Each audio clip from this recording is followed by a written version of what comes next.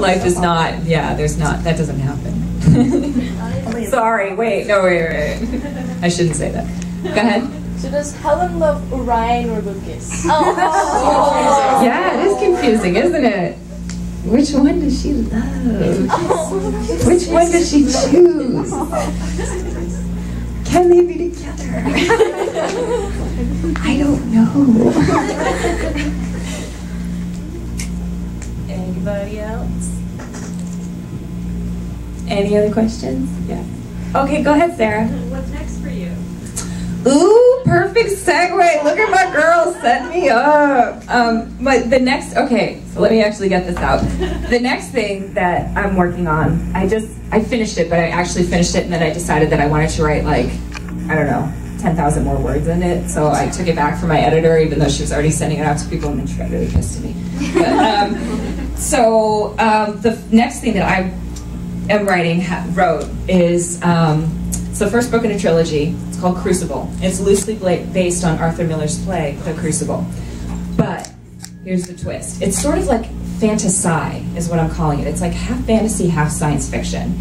And what it is is is based on this idea of parallel universes. And Lily, my hero, gets taken from our world, this normal world, into a, a parallel universe by her other self.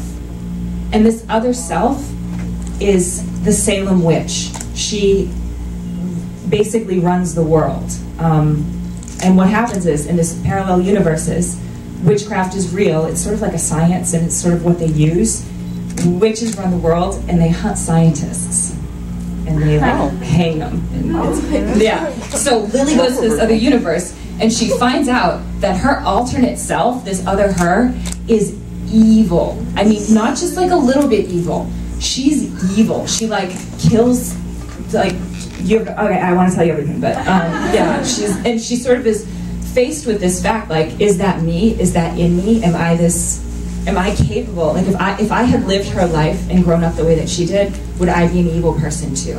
And it's sort of that's Lily's struggle through the book, and I haven't really, actually, I haven't even really decided yet if she's evil or not. So we'll see what happens because I'm still outlining the third book.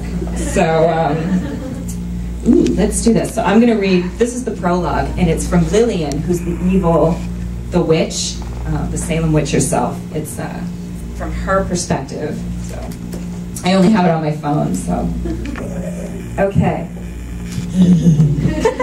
I'm so excited because there are so few people that have heard this.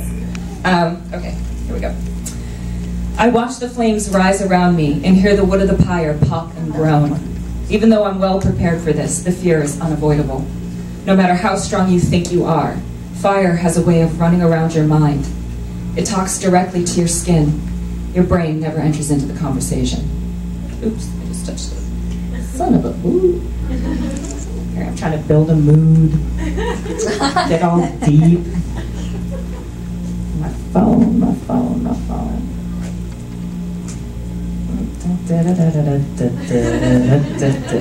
Afro circus. Did you guys like that? I love that movie. Oh man. Yeah. Afro. You know what? And my husband was like, "Why don't you put it on the iPad? Bring the iPad in. Why are you doing it on your phone?" All right, here we go. Uh, heat builds around me, and the fire begins to eat into my flesh. Yes, fire has teeth, and it eats. It chews at you like a living, breathing animal. It even roars like an animal. When you're in its mouth, you have to fight for air. Fire, like a lion, likes to suffocate its prey. The flames rise, and I twist and scream, trying to get away, but the iron shackles on my wrists keep me bound to this stake. I'm a witch, and witches burn. There are many other ways for a witch to gather power, but the pyre is the best. I don't know what it is. Maybe it's the sacrifice. But when I'm burning, I'm so focused. Every microjoule of energy is converted into power. It's almost like I can't waste any part of my pain. Like agony itself is another source of power. Whatever it is, whenever I come to the pyre, I remember I'm alive. I also remember what I owe for my life, what I did to keep it. Although that horror is never far from my mind. I remember that my job is to be the bad guy if I must. Most importantly, I remember that the good of the many really does outweigh the good of the few, even if one of those few is me. I looked for her for ages, and she's finally ready to come. For eight months now, I've been seeking her, watching her, and she's perfect. She's strong, independent, she's a survivor. She's come close to death many times and pulled through. She suffered ostracism and the censure of her peers and has learned how to steel herself against it. She has all of my power, but in the non-magical world where she lives, none of my responsibility. I can be certain that I'm not stealing the savior of another world like mine, because in her world, she's powerless, sickly even. That I don't destroy another world is part of my criteria for my search, and truly, the most important thing to me is that there is no Rowan in her world. If there were, I'd never be able to convince her to leave her world and come to mine of her own volition. I wouldn't even bother trying. I know what it is to love Rowan and what it feels like to lose him, and I'd never ask that of another. I feel like I've been roasting on this pyre for days, but I know only a few seconds have passed. I haven't even begun to transmute the energy of the flame and use it to bring her body from her world into mine, and since the amount of energy required to do that is astronomical, I must suffer on the pyre for a lot longer. Funny how quickly the mind moves, and how slowly time does when you're in pain. I always think of Rowan when I'm in pain, probably because the comparison comforts me. If I survive the pain of losing him, I guess I can handle anything. This logic has served me well over the past year. When I felt weak and doubted my path, all I needed to do was think of Rowan and what I did to him. If I didn't have mercy on him, why should I be merciful to others? There's a clarity that comes with cruelty. When, you're, when you've alienated everyone who means something to you and you've sacrificed every last sense of self, then there really is nothing left to lose. And if I've already lost him, there's no point in stopping now.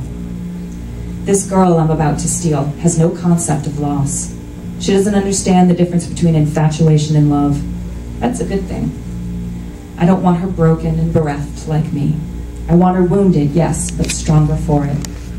There comes a day when every girl loses the stars in her eyes, and then she can see clearly. I think this is that moment for her. Lily, she's ready now. I'm super excited about that. I've never really written in first person, and I write Lillian's voice in first person, while the rest of the story's in third. So for me, this is sort of like, I don't even know if I can do it. So like first person, that's bad. Um, so, yeah. but that, go ahead. You're a question girl. What? This is Starcrossed again, but is there any chance that there'll be a chapter in her in first person of her? Like a, uh, well, I wrote, I'm thinking of doing Daphne's story all in first person because I want to stay really close on her. And I'm sort of like, I don't know why I want to write villains from the first person point of view. I don't see myself as a villain, I don't think. But I always think, like, from a villain, you want to understand why they're doing what they're doing. Like, you want to get how they got that bad. And it just makes more sense to write it like that, I guess. So that, I was thinking of doing Daphne that way. But I don't know, I'm kind of nervous about writing first person.